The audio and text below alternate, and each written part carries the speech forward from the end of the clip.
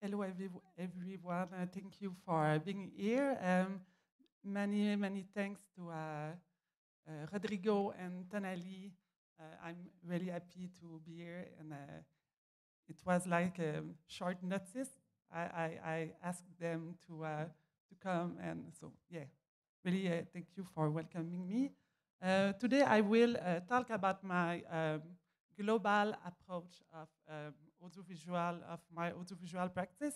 So uh, I'm based in Mon Montreal in Canada, and I'm working wi with uh, both sound and image uh, in really a musical context.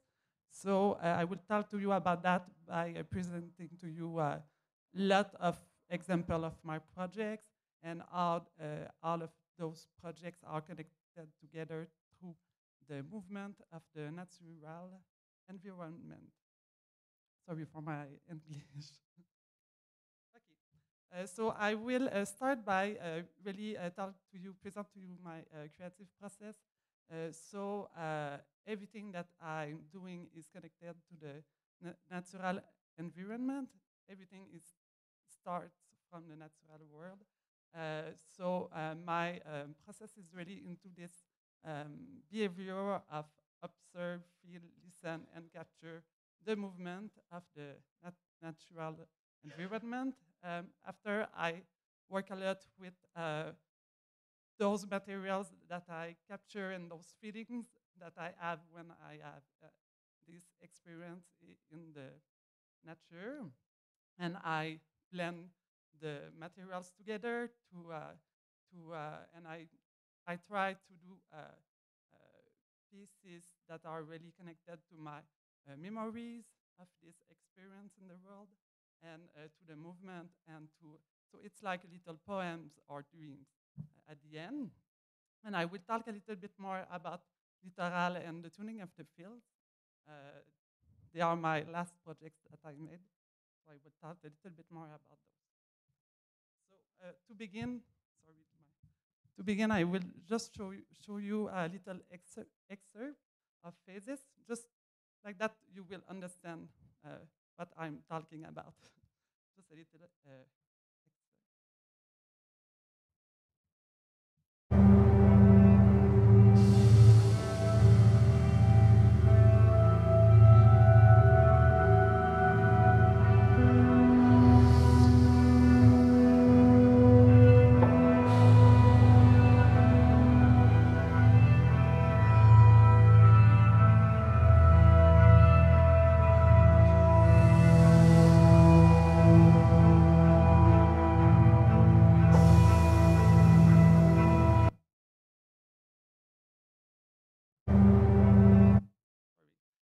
uh, a short uh, segment of the piece. Uh, so you, you saw birds and waters and clouds all mixed together with a kind of uh, pyramid, you know, the lines. so it's really like more like a dream all of, of, of, this really approach uh, is coming uh, through the experience, uh, as I said, from my own experience, but I think that um, our experience to the world. You know, we all uh, experience uh, the movement and the physical laws on this planet. So it's really like, and when we experience uh, it, it's uh, really with, I think, all our senses, our eyes, our body, our everything. So I really like this citation of uh, he said, I think of all the senses are as being unified I do not consider sound as separate from image, so I'm really connected to that. Uh, we usually think of the camera as an eye and the microphone as an ear, an ear, but all the senses exist simultaneously in our bodies, interwoven into one system that includes sensory data, neural processing, memory, imagination, and all the mental events of the moment. This all adds up to create the larger phenomenon we call, we call experience. Field perception is the awareness or sensing of an entire space at once. Sorry, I don't find it in Spanish, but if you are interested, take the, the reference and note. Um, so, uh, like uh, I said, um, all my projects uh, start from this kind of exercise, I don't know, activity. So I go to to nat natural site. It depends of my projects, but and I take a lot of pictures, a lot of video, a lot of sound, and I just uh, also do nothing just to feel the place, you know. So here it's a river in Quebec, another river in Quebec. Uh, here it's uh, for a project in Poitiers in France, and in uh, Marseille in uh, France too. so I was just there for a lot, a lot of days, just feeding the place and taking a lot of materials. And after I come back in my studio and I just play with everything. Uh, so I, there are examples uh, of what I'm thinking when I are uh, I am uh, on this uh, site. So they are not um, all materials that I use, but it really just inspired me. So textures, I take a lot of textures because I work a lot with them. Birds, you can see this yellow uh, picture is I took it here in the window like a few years ago. It's Mariella, Mariella, and I, take a, lot of birds always. Uh, I work a lot with clouds too because the shapes are so amazing, and uh, I work a lot, a lot, a lot with water. It's like because the it's really powerful water, and the movement of water is really rich and really um, there are a lot of kind of movement of water, and you have also the ice, the water, and yeah. So um, you will see that all my pieces have water uh, in them. So the next step uh, is really to to play with those materials, and I mix everything with my memories. So I I will produce um, new sounds, new images, just to blend together, uh, everything together. So I call that a musical writing of sounds and image. I don't write music. I can for musicians, but I really, uh, for me, it's like a writing because I, I, I put sounds and image together I, and I just compose music with all of them. Uh, like I, said, for me, image is, is like sound, so my brain is like in the same place when I play with image or sound. I'm just doing music. Um, I, I, I found a, uh, this citation in Spanish, if you want to. It, it, it's from uh, Victor Hugo. I really like this citation too because it's really connected to my feeling about music and just the natural world and water and art and everything. So um, uh, it said, uh, music is the vapor of art. It is the, to poetry what reverie is to thought what the fluid is to the uh, sorry, liquid, what the ocean of clouds is the, to the ocean of waves. If another description is required, it is the indefinite uh, of this infinite. The same insufflation pushes it, carries it, raises it, upsets it, fills it with trouble and light, and with an ineffable sound saturates it with electricity and causes it to give suddenly this charge yes, of thunder. So, um, so uh, yeah, I, I, can't add anything to, to this. Um, so um, the, the next step when I, I, work with those materials, I will connect uh, uh, those materials uh, with another with other sounds. So I work a lot with musicians. I really like to uh, collaborate with people because they can bring another uh, sensi sensitivity to, uh, to my ideas. And uh, I work a lot with Ida Toninato. She's a saxophonist. She's always almost of all of my pieces. Uh, Tommy Davis, uh, who is saxophonist too, is playing a lot, a lot with tub, tubs. And Jeremy Jones with the upright uh, bass that you just uh, uh, on the, the excerpt that I, I, I uh, showed you. So I will also uh, uh, often do other recordings. For example, if I was uh, in a place with a lot of water but without boats, or, or if I don't have enough birds, or I, I don't know, I will, I will um, do other recordings just to have more uh, stuff to work with. I also play a lot of objects and syn synthesizer. Uh, I'm coming from the post-rock uh, scene. I'm keyboardist and pianist, so I really like to play uh, with keyboards and synthesizer and objects. So um, I, I will use uh, different kind of objects just to create new sounds, like a bicycle wheel. I really like this because you can just do a lot of iterations and sound with that. Um, so yeah, so I will record a lot of those sounds too, and I will mix everything together. For the images, uh, for the visual materials, I, I, I really, um, the idea in, in my projects uh, are really to capture the movement, not to really give a, a realist image of the world. I really like to capture the movement, to underlying the colors, the lines, everything, uh, just to abstract them a little bit. And uh, and it's that's funny because uh, when I I was working on my project, I was um, on Kabir Kuba. This one, it's about the river that you saw just before. It's the river, and I and I was working on it, and one of my friends told me, "Oh, it um, it makes me think of Zao Wou-Ki, the painter. Uh, it's really similar, I find." and I didn't know, and I was, oh, he was really, really uh, inspired by water too. So two, people inspired by water make abstract uh, visuals.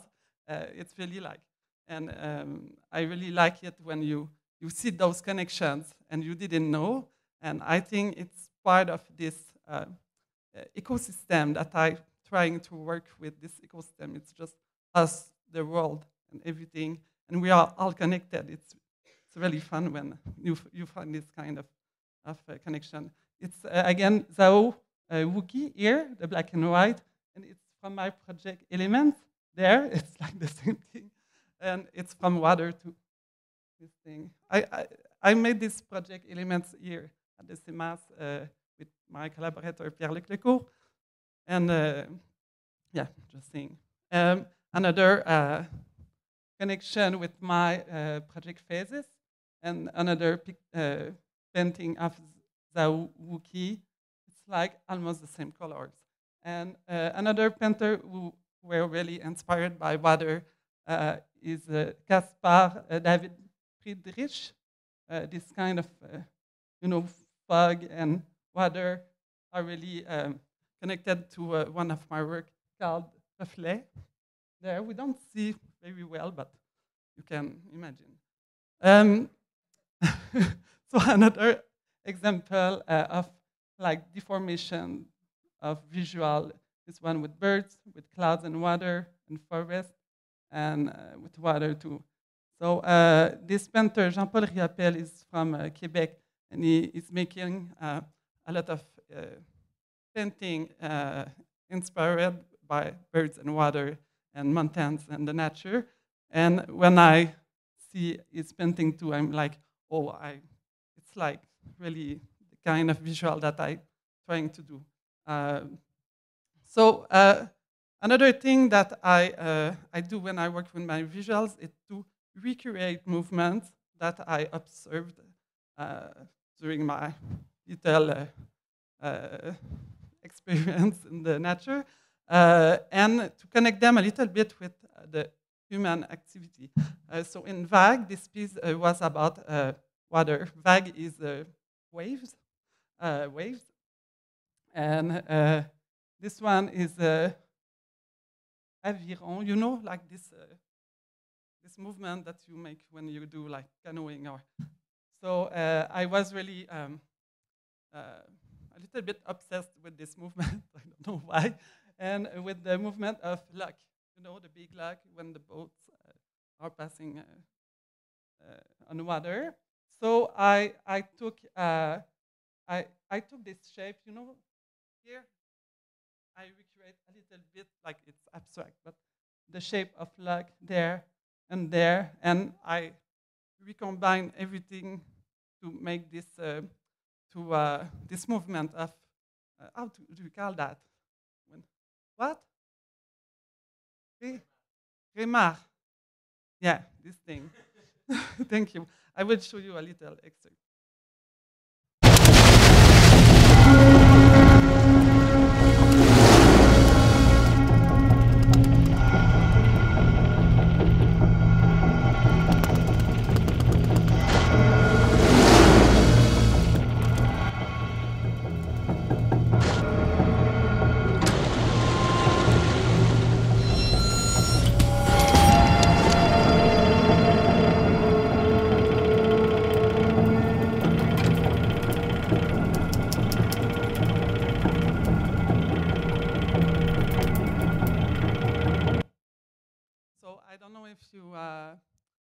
Uh, heard um, the sound of all the pictures that I put just before, uh, water, and but you can hear uh, uh, upright bass, the chuk chuk chuk, and and uh, the bicycle wheel.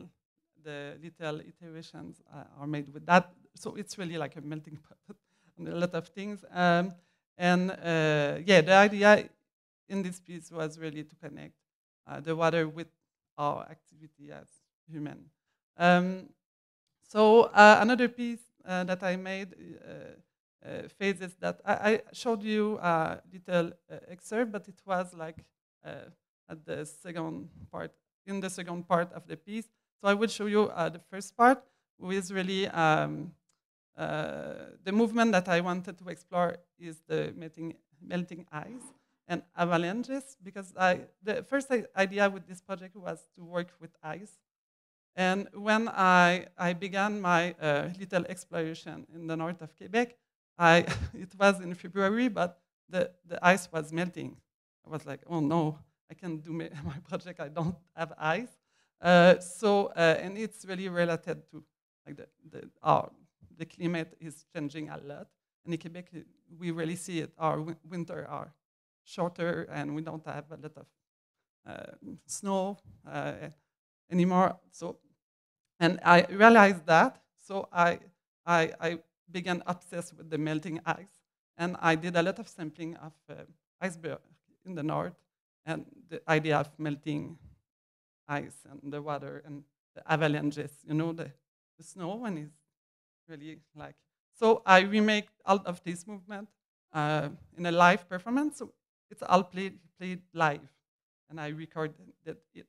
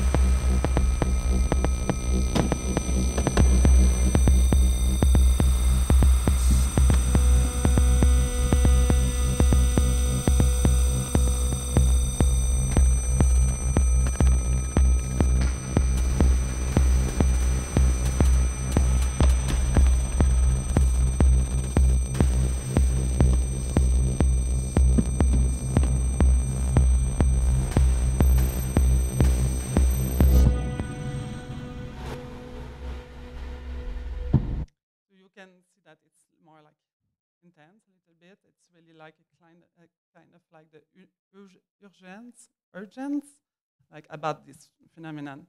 But the first idea was not to do something really connected to climate change, but when you work with the natural world, at some point you have no choice to just see it and, and just think about it uh, now. So I'm gonna uh, talk to you a little bit about this project that I made, uh, I made with Kathy Hinde. Maybe some people from the UK here uh, know uh, her. I know she came here at the SEMAS2 a few years ago. Uh, I made this project with her uh, just before the COVID pandemic. So uh, we, uh, we worked a little bit together through a few residencies, but after we did all the project remotely. So the idea with Littoral was Katian with is a really um, like awesome artist, and she's working a lot with objects, with installation. And I don't. It was my first project with really real objects. So uh, we worked a lot uh, with. Um, uh, the idea was to uh, to do something about the uh, rising of the ocean levels, and uh, we didn't really know what we wanted to do with that, but we wanted to, to work with water and, and with lands because uh, yeah, it was like our first idea. And so we made those like uh, stack, this stack of, of, of kind of, um, uh, it's, it's like kind of shape, shape of the lens like that, and we put water in it. And when we put a paper like that, and we pass the, uh, the light through the lens, you know, you see reflection. It's like the, the idea. The idea. So uh, we, uh, we make those objects and we made a lot of uh, field recordings uh, on the west uh, coast of the UK, uh, in, near Bristol, near Cove Park in Scotland. And we made also a lot of recordings in Quebec. So it's like the east coast of Quebec. so it's like the idea was uh, to work with the uh, the rising uh, the ocean, North Atlantic Ocean, between our two countries. Uh, so we made uh, those first experimentation, and uh, we we wanted to connect the light, so the reflections, with the sound. I just show you the first experiment.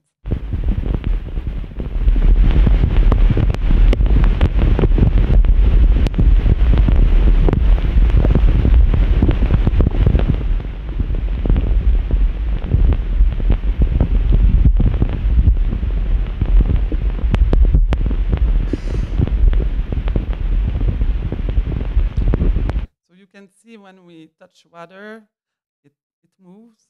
Uh, so uh, we, uh, after we, we, uh, we uh, made some solenoid to tap into water and everything to make water moving like that. So for the whole piece, for the music, we first started to, um, to just go outside and see the, just the place, uh, the nature in Cove Park, Scotland, because it, we were in residency there. And there, they, there are a lot, a lot of little, uh, how do you call that? Riso, you know? Streams, thank you, streams. And when you walk in this, uh, in this landscape, uh, you can hear a stream there, a stream there, another stream there, and a stream there, and a lot of streams like that. And uh, so uh, we, uh, when we came back from this first ex exploration, we had this idea to just compose the music with this, with those kind of streams, those kinds of layers who are uh, just uh, cross-fitting together. So I made some, just down my notes, personal notes about like uh, what what I've heard uh, there. Um, and after I worked a little bit with my field recordings in Cecilia, it's like a software for for just play with the sound. And I was really inspired by the mountains there, so I, I was just uh, uh, just dry, uh, driving anything just by inspiration. And and uh, actually, the, the results were uh, very interesting, so I kept them. Um, and uh, we, uh, we also uh, wanted to work with data. Uh, we didn't know what to do with that because it's not, it's really complex. And, um, but we, we had this, this we had some um, meetings with geologists and she she showed us like where to find data about that, and she explained to us all the complexity of uh, eyes uh, uh of rising uh, sea level. And uh, at, at the end, we, we took some CVS files like that on a website. it's coming from the laboratory. And at the end, we found that all the data about the ocean uh, in the world are, are uh, a little bit like that, you know? You see the, the curve there? So we, uh, we decided to, to do this kind of form in our piece, like to do like something really, really more uh, static at the beginning, and the more, the more it uh, going, it, it going up like that, the more uh, there are activities in the music. And we made a little uh, Max for Live patch to control with the C CSV file uh, a lot of uh, parameters in our music. Uh, so uh, since we did this project remotely, I did the performance, uh, solo performance for the premiere in Montreal. So I was just me, it was just me with this kind of ecosystem of objects and data. And it was really interesting. The most interesting thing about this project for me, it's that uh, for the first time in my life as a musician, I was not controlling uh, everything on the stage because of the data. And um, it's really interesting because I was, oh, it's really like an ecosystem where um, I'm there, but I don't really know uh, what everything uh, that will happen, you know. Uh, so I play with objects, they are solenoid, controlled by data, the lights, and I play a little bit keyboards, but I really uh, more in a listen, like uh, I'm listening a lot because I don't know, and I, I, I try to, uh, to uh, really control a little bit the amplitude of the sound and everything because it can go just crazy. So it's really interesting, and I put water in the lens, like plants. like if I put uh, water in, in, my plants, it's really like another kind of, of uh, experience to uh, perform on stage. Um, I will show you just a little.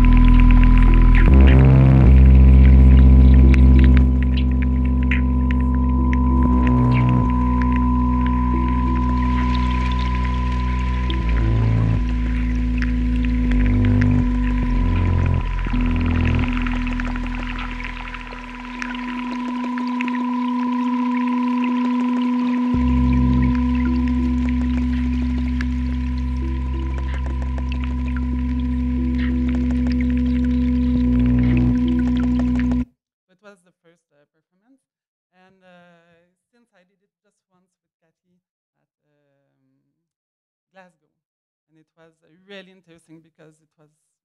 and we were like doing a lot of things on stage. Uh, but uh, yeah, so the uh, just a few words about the piece that I will present tonight, my uh, audiovisual performance, uh, the tuning of the field. it's a performance that I did last fall, and but it was a, an idea that I I had since a long time. The idea to do something with the cricket songs songs, you know, the sounds of crickets, the insects. Um, and uh, I came from this place. uh, we don't really, uh, it's near Montreal in Quebec, in Canada, and it's a place with a lot of uh, agriculture. It's really like the center of agriculture in Quebec, uh, a province in Canada. And I, I, com I, I come from there. Uh, my parents are still there and there are a lot of fields, but it's really monoculture, uh, really a lot of pesticide, you know, like those big, big fields. And uh, since, uh, and during my, my childhood there, I remember that uh, we had like um, they were like fireflies and little strawberries and a, lot of insects and frogs that, and they are not there anymore. they just disappeared with the time. And uh, when I go there, I always uh, hear the cricket song uh, at night, and it's really beautiful. And once I, I was just thinking, oh, maybe they will disappear, disappear too, because of this just uh, really bad environment uh, for the ecosystem. So they are the fields, and I always take this road when I go to my parents and I go back to Montreal. And it's awesome, the, the songs of the crickets, because when you are by car, you, you hear also the Doppler effect, and it's just, wow, I love it. So I became obsessed with this sound. Uh, and, um, and with also like all the, you know, the geographic uh, uh, stuff about topographic maps and everything, and the landscape and the territory. So, so I combine both in this project, and I became like, but I didn't know what really to do like for the the, the, the world peace. And uh, this uh, last June, I was there in Sedona in the USA, and I heard this those cricket songs, and with all the layers and wow, the specialization, it was awesome. So I had my idea. I was like, okay, I, I, I know what I will do with this piece after hearing that. I just.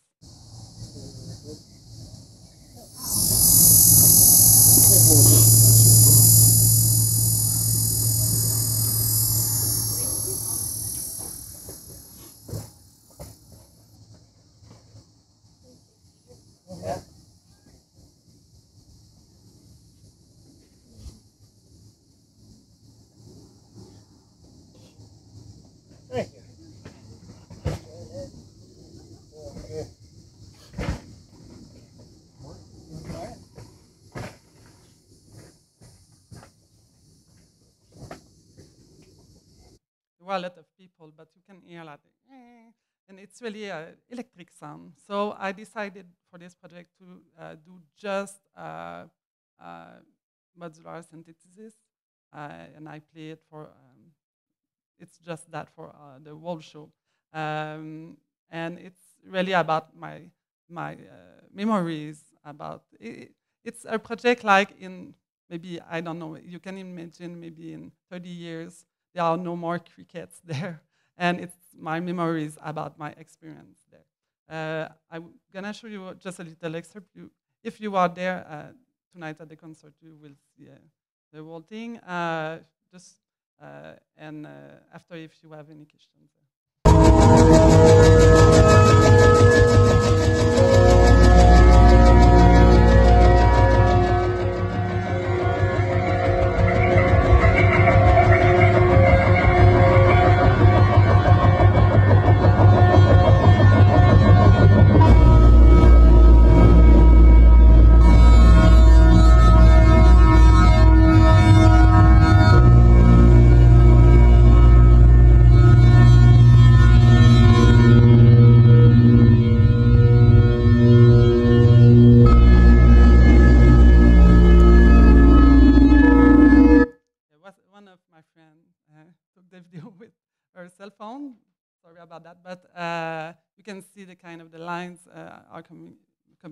Topographic maps. I did it with the Dutch designer. And connected to uh, the sun too. So if you are more interested uh, about uh, uh this kind of uh, project, you can you can read those chapters that I wrote in an awesome book called Sound Image, Audiovisual Aesthetic and Practices. Uh, it's a book with a lot of chapters about audiovisual uh, practices, and uh, it's really interesting.